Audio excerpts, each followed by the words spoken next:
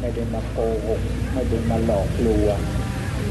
สวัสดีค่ะคุณสุประโชคคุณภกามาศค่ะกำหนดการของนายกรัฐมนตรีที่จะเดินทางนะคะประชุมคณะมนตรีนอกสถานที่ครั้งที่ 2 นั้นก็จะไปประชุมกันที่จังหวัดพระนครศรีอยุธยานะคะ แต่ก่อนที่จะประชุมวันอังคารนะคะ ในวันจันทร์หรือวันพรุ่งนี้นั้นนายกรัฐมนตรีก็จะเดินทางลงพื้นที่จังหวัดสุพรรณบุรีด้วยค่ะ และจุดที่ที่ฉันยืนอยู่ขณะนี้นะคะ วัดป่าเลไลจะเป็นจุดแรกค่ะที่นายกรัฐมนตรีนั้นเดินทางมาเยือนค่ะ basic capital มากมายไก่กองเยอะแยะเลยลุกแต่ว่าจัดจังเวโดยกำหนดการของพลเอกประยุทธ์จันโอชาและคณะนะคะ จะเริ่มตั้งแต่วันพรุ่งนี้ค่ะ โดยจะลงพื้นที่จังหวัดสุพรรณบุรีจุดแรก เดินทางไปสักการะหลวงพ่อโตนะคะ วัดป่าเลไลวรวิหารค่ะ และพบประชาชน พร้อมตรวจเยียมความก้าวหน้าของการก่อสร้างพระเมรุมาตรจำลองค่ะ ที่ขณะนี้นะคะก็แล้วเสร็จเกือบจะ 100%แล้วนะคะ เหลือจะตกแต่งภายนอกอีกสักนิดเพื่อความงดงามค่ะ ทั้งนี้พระเมรุมาตรจำลองนะคะก็เป็น หนึ่งนะคะในจังหวัดค่ะสุพรรณบุรีนะคะที่มีการก่อสร้างจำลองไว้นะคะ ทั้งหมดเนี่ยมีทั้งสิ้น 76 จังหวัดเลยค่ะ และจังหวัดสุพรรณบุรีเนี่ยก็ก่อสร้างไว้ที่วัดป่าเลไลนะคะ โดยกำหนดการเสร็จจริง ๆ แล้วประมาณวันที่ 15 ตุลาคมค่ะ แต่ถ้าดูจากสถานการณ์การก่อสร้างในขณะนี้เนี่ยก็คาดว่าน่าจะแล้วเสร็จก่อนนะคะ โดยวันพรุ่งนี้นายกรัฐมนตรีนะคะ ก็จะเดินทางมาพบปะประชาชนที่นี่นะคะ แล้วก็จะมาตรวจเยี่ยมชมสถานที่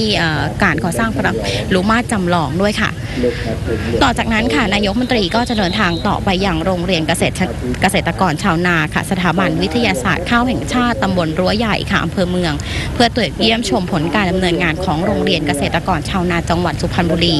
ข้าวนาแปลงใหญ่ค่ะศูนย์เรียนรู้เพื่อถ่ายทอดเทคโนโลยีการแพทย์การเกษตรค่ะ ขออภัยค่ะ เทคโนโลยีการเกษตรนะคะ และโครงการ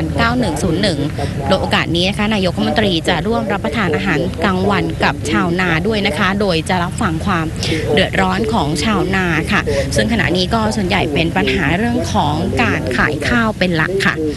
จากนั้นค่ะช่วงบ่ายนายกมนตรีก็จะเดินทางจากจังหวัดสุพรรณบุรีนะคะ ไปที่จังหวัดพระนครศรีอยุธยาที่หมู่บ้านที่ 1ตำบลบ้านแพนอำเภอเสนาค่ะ เพื่อตรวจเยี่ยมการบริหารจัดการทุ่งรับน้ำนะคะ โครงการเปิดน้ำเข้านาปล่อยปลาเข้าทุ่งค่ะ และประตู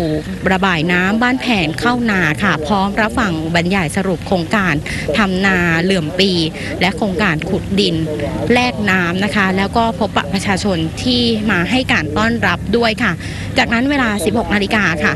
นายกจะกลับไปที่โรงแรมที่พักนะคะ คือคาสิคามิโอค่ะอำเภอ พระนครศรีอยุธยานะคะ โดยจะมีการประชุมร่วมกับภาคเอกชนค่ะ แล้วก็ผู้บริหารท้องถิ่นเพื่อมอบนโยบาย รับฟังการนำเสนอทิศทางการพัฒนาภาคกลางและรับฟังโครงการสำคัญที่จะขับเคลื่อนยุทธศาสตร์ภาคกลางค่ะพวกเราด้วยวิชัยสงครามครั้งนี้นะคะในหลังจากวันจันทร์นะคะ ก็จะมีการประชุม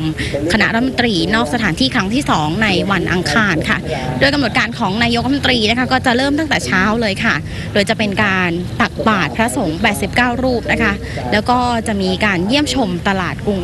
ศรีด้วยนะคะ แล้วก็จะนั่งรถรางเยี่ยมชมมรดกโลกจากนั้นแล้วจึงจะเข้ามาที่ประชุมคณะรัฐมนตรีค่ะ โดยกำหนดการประชุมคณะรัฐมนตรีในวันพรุ่งนี้ก็จะเริ่มเวลา9นาฬิกาเหมือนกับการประชุมที่ทำเนียบรัฐบาลนะคะ แต่ว่าครั้งนี้เนี่ยก็จะเน้นเรื่องของยุทธศาสตร์ภาคกลางเป็นหลักนะคะ โดยจะมีการคุยกันเรื่องของสถานการณ์น้ำและการจัดการปัญหาน้ำท่วมที่เกิดขึ้นซ้ำซากด้วยค่ะคุณสุประโชคคุณภากามาศค่ะ